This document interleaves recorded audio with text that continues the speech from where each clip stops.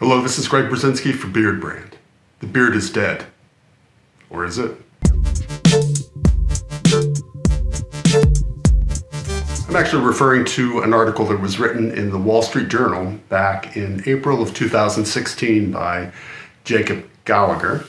And uh, he was suggesting that uh, the beard was gone. Before we get into that, I want to go back and just talk a little bit about history. There was a point in time uh, where fashionable men, um, I'm going to say the 90s and uh, around 2000, uh, for almost a decade, uh, with the exception of maybe some mustaches being worn in the early 80s. Men have been, as a big group of people, smooth uh, faced. And then uh, how, how do trends start? And most trends start by um, like fashion designers or by um, you know trendsetters, whoever these people are, magazine editors, um, film editors, filmmakers they see something in the street that looks different. And so, what did they see? They see a guy with a beard. And then, so these guys decide to put um, beards on models, encouraging models to grow uh, beards. And then you see these guys popping up um, in fashion shows, you see them in editorials, you see them in the magazines where there hadn't been beards before. And then all of a sudden, the guys who read these magazines, who um, uh, watch these videos, and we're, we're talking like 2006, 2008. Those guys start uh, wearing beards and uh, they start uh, influencing the people that they're in, in their circles. So it trickles down the lane, you know, and then all of a sudden you have a lot of guys starting to wear beards. And it's tying into what is considered hipster culture, whatever uh, that is. Um, but uh, you see a lot of um, men all of a sudden who are sporting beards, where previously, just five years before, guys didn't have beards. And so, you know, those fashionable guys and the guys in urban areas are wearing beards, and then all of a sudden you're wearing a beard, and then all of a sudden your dad's wearing a beard, and then all of a sudden Uncle Jack is wearing a beard. And you look at it and you think, wow, great, everyone has a beard. But fashion editors and people like that are looking at it and saying, My Uncle Jack has a beard. This is not cool. I'm shaving my beard off. So you have a counter um, reaction to what was once considered very fashionable suddenly becomes not fashionable.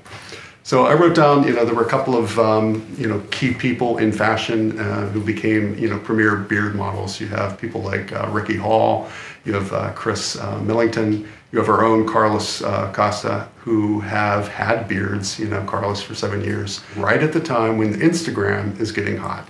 You know, going back about six years ago, Instagram is taking off, and all of a sudden you see these guys who have beards for the first time, young guys with beards.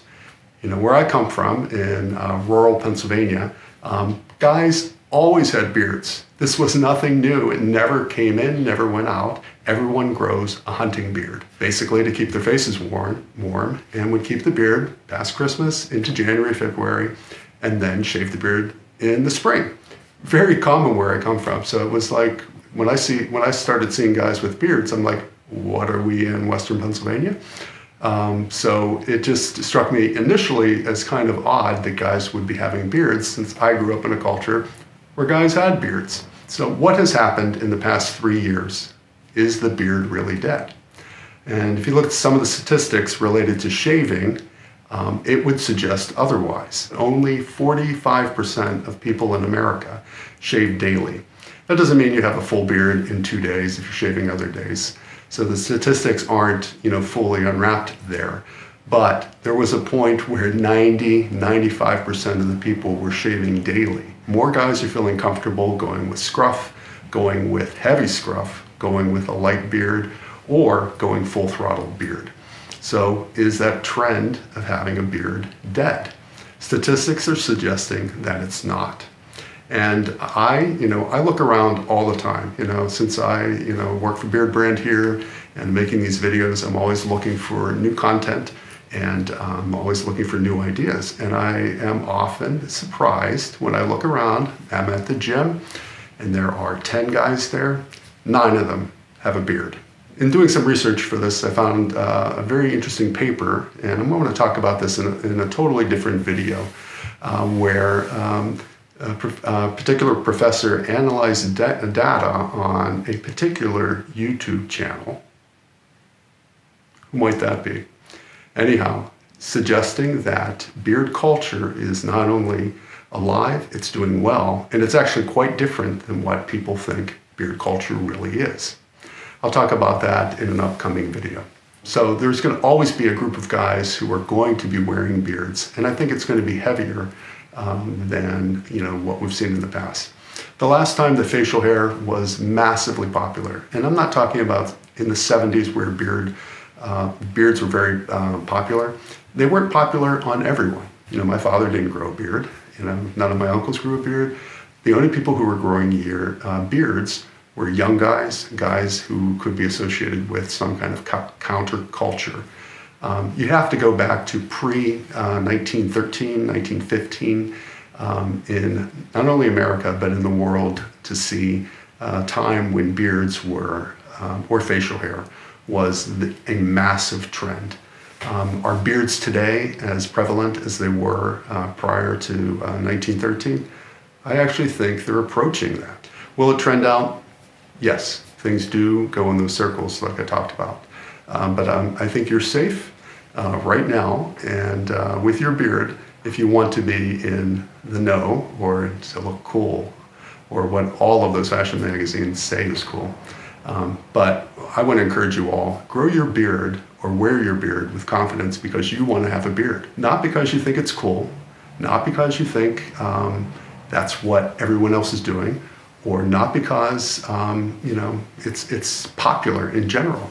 I think guys should wear beards because I like having a beard. I like how I look with a beard. I like um, you know reactions I get with a beard. Um, the one that you want to be on trend is with you. You want to make sure that you're comfortable with that beard and that you're wearing it, your facial hair to the best of its ability. And that's what we're here for in Beard Brand. We want to encourage you to do that. To encourage you to wear your facial hair, whether it be just a mustache, whether you're just rocking shadow, whether you're rocking a full yeared, um, wear your beard with confidence. And uh, if you choose to shave off the beard, great. And um, maybe you'll set that next trend. So, like I said, I'll be back uh, to talk um, in uh, next installment about the article that I saw analyzing um, the support that one can get on a particular YouTube channel um, and uh, to help you with your beard. Um, until we meet again, beard on. Thanks for watching this video. Beard Brand has launched a private community called The Alliance. It's for men who are looking to invest in themselves and who are looking to keep on growing. Click the link over there and come join us, or stick around and watch some more awesome videos.